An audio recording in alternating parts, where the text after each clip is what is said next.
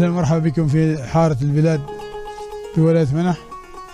هذه الحارة أثرية. طبعا عمرها من 900 إلى 1000 سنة. يوجد بها منازل 376 منزل وكذلك يوجد مساجد أربعة ثلاثة قائمات وواحد يصلى فيها إلى الآن منذ قدم الزمن.